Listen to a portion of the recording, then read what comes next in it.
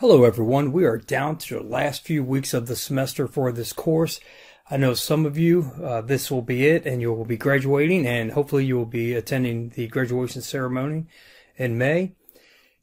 If you do, I will actually be there, so I'll make sure I stop by and say hi to you. I'll be one of the faculty members that will be lining up students uh, prior to the event. So uh, please uh, stop by and say hi to me if, if you see me or most likely I'll come find you. So let's get down to business when it comes to what you should be working on for last remaining weeks of the course. First of all, make sure you review the chapters 1 through 10 within your textbook and the PowerPoint presentations to assist you with completing these remaining assignments. For the assignments themselves, we have the course participation, which really isn't an assignment that you're used to where you would just do a discussion board posting. This is basically saying, hey, just make sure you're communicating with your team. So if you stay in constant communication with your team, you're going to receive 100 points for that for the next few weeks. If I receive feedback from team members that you are not communicating, obviously you will not receive the points. You have a case study, which is the Pepsi company. You have the Globus simulations, decisions for year 15. You have the Globus peer evaluations, and keep in mind that's the post uh, game peer evaluations, which I'll cover here in a moment a new assignment, which is the research paper, which is on disruptive technologies, the annual report. I'll touch on that here in a moment, and the capstone project. So let me go ahead and scroll down. I already covered about the course participation for weeks 13 and 15. Make sure you're communicating with your team and you receive 100 points. It's not 100 points per week, it's just 100 points overall. You have the case study, the Pepsi company that you must complete, which you're very familiar with the case studies by now. So that should be straightforward. You have the last year in the Globus simulation, which is year 15 decisions. So this is where you can just go all out. You're not worried about year 16. So you will definitely be able to take risk that you normally would not in the past. Because if you did, you would pay the price in year 16. You can just go all out and uh, just try to increase your score as much as possible. Then we have the Globus Simulations post game peer evaluations. Very similar to the mid game. Just go ahead and complete them within Globus.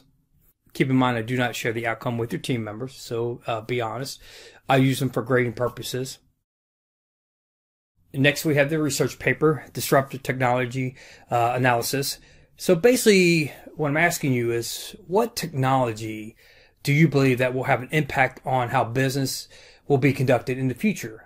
Um, I'm leaving it wide open instead of uh, making it narrow and, and making you choose from certain technology. You get to pick. So the great part about this, if you're currently working somewhere, I would say stick within that industry and try to figure out what's going to disrupt it in maybe 10, 15, 20 years.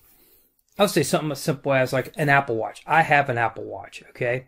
To me, that disrupted the watch industry you see about everyone with some kind of similar smartwatch on nowadays. I, I'll go through a McDonald's drive-through, and the person who's handing me my uh, bag of food, they have a Apple Watch.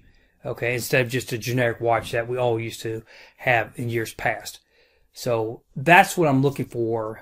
Um, if you cannot think of one within your current place of employment, uh, um, that's fine. You could pick just any disruptive technology.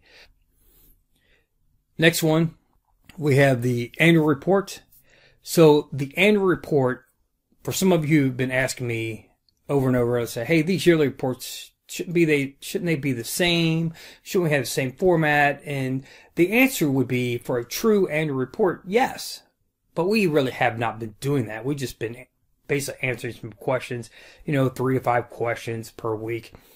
This is going to be a true annual report. So you absolutely going to want to download instructions from step one to make sure you understand what should be included in the report. Now keep in mind, the research paper is an individual paper. The annual report obviously is a team assignment. So the entire team can work on the annual report together. So make sure you download the instructions. Also, do not forget step two, which is reviewing the grading rubric obviously I, I adhere to the grading rubric. So if I open up the annual report and you meet the criteria, you get points for it. Okay. Um, obviously, you know, if I did not specify in the grading rubric, um, I cannot take points off or, or um, or also give you points that doesn't exist within a grading rubric. So keep that in mind. You definitely want to analyze the rubric and the instructions to make sure you have a complete understanding of the assignment. Obviously, once you have completed the assignment, go ahead and upload it to Blackboard. Last but not least, the capstone presentation to the Board of Trustees, which the Board of Trustees is the instructor, which is me. Normally in person, your peers would also listen to the presentation. Obviously, as you know, with the online class, it would be about impossible to get the entire class online at any given uh, day or time. So we are only going to do it within each team, like we have the introductions at the very beginning of the semester. As you can see within step three, the team is actually going to go ahead and schedule their presentation with me. First come, first serve. So keep that in mind. But obviously before that, you want to go ahead and review the capstone presentation details the grading rubric for the presentation.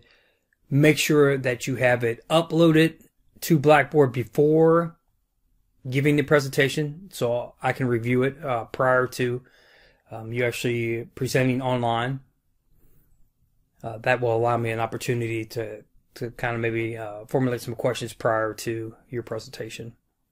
Now, when it comes to the online presentations, every team member must participate. So that means you at least, let me say that again, you at least need a mic. I know there was a few minor issues at the beginning of the semester, and maybe even uh, some team members, even up to this point, might be having issues with um, their mic. Keep in mind, you have several weeks to get that worked out. I'm just using a mic that came with my iPhone, the headset, so I'm not using anything special. Uh, most people use something similar as what I'm using. So I, I can't see it be some big cost to you to, to obtain a mic. Uh, so make sure you have one. If you do not, or if it doesn't work that day, you absolutely will be deducted points. Not the other team members, but you. Okay, so each team member should have certain slides. So if you don't perform during those slides, that's on you. That will not affect the team. Okay, I know every team members for the most part been trying hard. Teams have been challenging. Hey, that's the real world. That's why we do it. But with that said, at the very end, each team member will be graded based on their portion of the presentation. Okay, so you don't have to worry if you're concerned about a certain team member at the last moment is not completing their slides or doesn't have a mic or saying they might not be there. That's on them and that's my concern, not your concern. You can always just reach out to me and just provide me the information, and I'll take it from there. Now, with that said, hopefully we just keep it all positive. If you got to this point, you have pretty much worked hard. There's a lot of assignments that you have already completed, and, and hopefully you are, are finding and will have found a uh, class very valuable to you. Now let's take a look at the Year 14 scoreboard it looks like we have Team A, C, E, and F all tied for Year 14 scoreboard at 96. Then we have Team B that was second place is fifth because you have so many people tied for first at 95, so just one point behind. And then you have Team D, I, H, and G. Then again, G, um, I, I, know I hounded you all semester, but you, you're making up ground. You're plus three. So I'm, I'm, proud of you there. You're you're not going backwards at all. Uh, really, there's only two teams that did take a dip, which was uh, Team E minus five, and then Team B with minus three. So, but not bad though.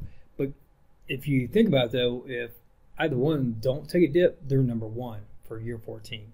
So it just goes to show you every point matters. So now let's take a look at game to date scoreboard. Team B is leading the charge for the game to date at 108. Then you have Team E at 102, Team C at 101, Team F at 100, and then everyone else is pretty in the 90s besides Team G. But like I said, not bad. They're they're 84. You never know; they might still move up from the bottom though. Now, keep this in mind, everyone. You're going to be going into year 15.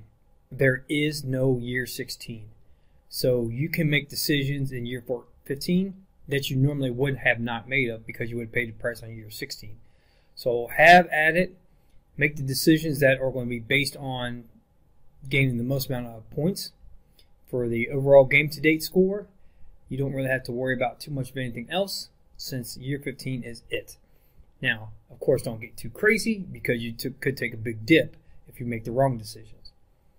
But like I said, I just want to emphasize: examine all your your choices that you have, and be bold in year 15. So, all right, that's all I have for this week. And everyone, uh, please feel free to reach out if you have any questions. Take care.